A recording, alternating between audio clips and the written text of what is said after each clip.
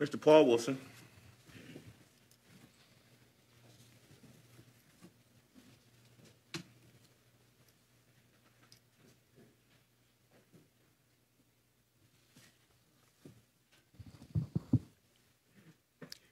On behalf of the 130-plus District 6 Pontiac citizens who signed petitions about the council's agenda item regarding rezoning the Mark Twain School site from R1 to R3, there are several conditions which we collectively are challenging.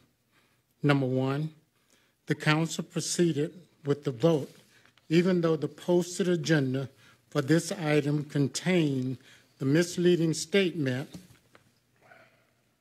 the Planning Division is requesting to postpone adoption of this agenda, of this ordinance. Since the vote was taken away, it is not clear what was the intention of such notions unless it was intentionally put there to deceive citizens who had planned to come to protest the action into thinking that the matter would not be taken up at this meeting. Number two, although I have repeatedly informed and supplied the city clerk with petitions, he has refused to conduct an official review of the petitions and to give an official notice of their legitimacy. All we've received are casual, non committal responses, which we challenge as being inaccurate and inappropriate.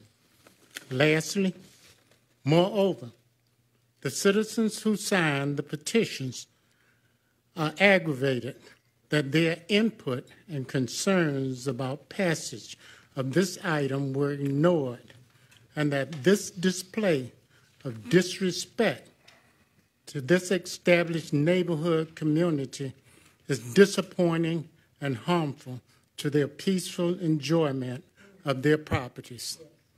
Lastly, we trust that this administration and its elected officials of the council will reconsider their stance on this project and rectify the disruption that would be caused to our neighborhood by continually pursuing this project. Thank you. Thank you, Mr. Wilson. Renee uh, Beckley.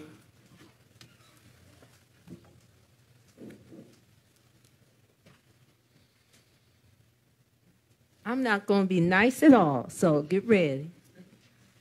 You wandered in a place where I live. You came in my neighborhood. You and then William, you weak. You weak for a man because you could have told the rest of them, no, don't put a both of this way. I know Melanie's wild as all get out, so she's going to do whatever she wanted to do. But you could have got the rest of these men. Um, you know, but they not man enough to realize that somebody lives there. Do they want to hear a plant across the street and behind them? That's a factory. A factory. I know what fact you know factory is. Make uh, electric batteries. Those things are explosive. The bicycles explode. They, you can't get on an airplane with a, a, that type of battery. Know, a train anyway. They have to specially have a special way to transport those types of batteries. And you're going to put that in the middle of the neighborhood. I have no respect for this council. I have, what is it, would the police say, no, uh, something for the chief, or I forgot what it was, no confidence in you, no confidence in the mayor. I think there's something going on with that funder, between the funder and this person with the company. I get no hits. I have seen, I have not seen a website on this company. I pulled it up, Arco or something. I have the correct spelling at home. Nothing. Is this a dummy company for you just to get the money? Is something going on with this council? If you live in other districts, don't vote for your council, your present council person, because they're going around the city. There's also something going on with them and the school board. Everywhere there's a school, they just did one to um, night, Webster School. They're going to shut down one lane in M59. They did something in my neighborhood. That's a school. Mark Twain. So Mike and William both came from the school board. Gil Garrett's the president. They helping him out dumping stuff, garbage. Just plain garbage that we don't want. Do we have to really sue? There's a lot of lawsuits. I'd like to pull one on y'all. I think I will. Just for this. So you add another one. You, Tim, with each individual ones that voted for that. Last week, we, we, we had a hundred something people. That should be enough. Mr. Dog, what you did was gank. It means, you know, that, that was something like back in the South. How many bars, uh, bubbles in this bar is sold? How fast can you walk up the Empire State Building? You did something equivalent to that. We got the signatures. We don't have, and most of those people, it's either a landlord or nobody lives there. Where the streets that you had, you just arbitrarily picked that. I never seen a petition like that in my life. It's usually the registered voters that live there in the neighborhood. Uh, thank you, Ms. Beckley. Ms. Carol Wilson.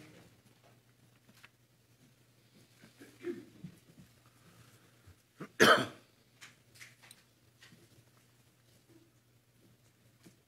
just want you to know I'm very sad.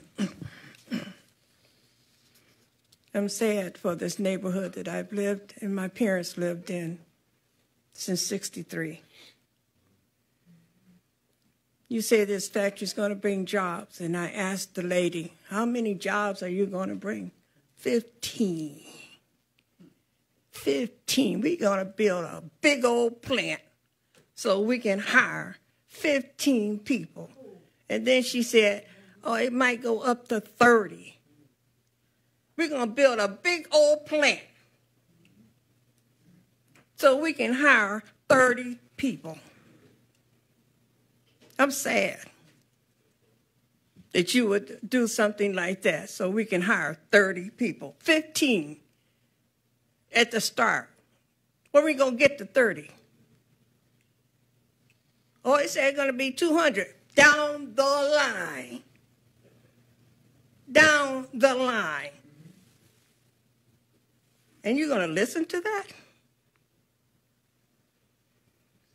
Yes, me and my husband went all over this neighborhood because it's our neighborhood. We went all over the neighborhood.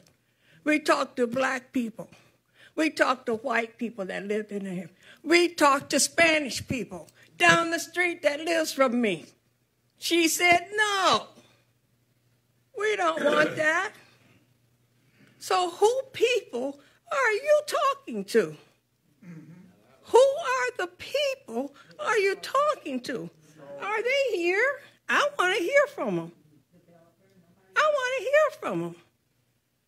The only people I've heard so far that you've talked to are out of our district. They're out of our district.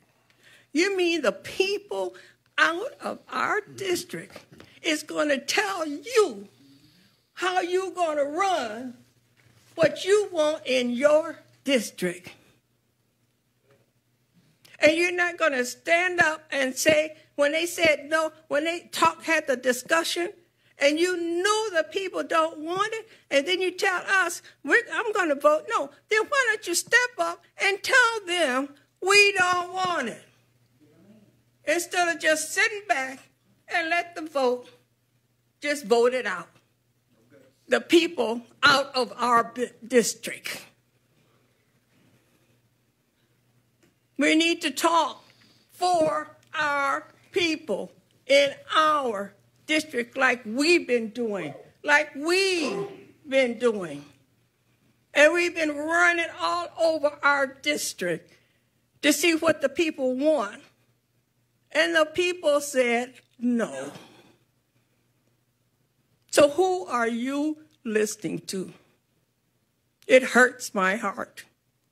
And it hurts this district heart.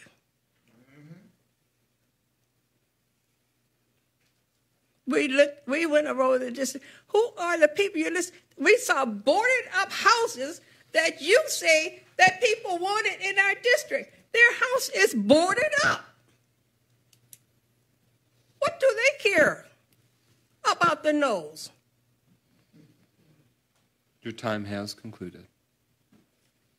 Thank you, Ms. Wilson. Ms. Iola Miller?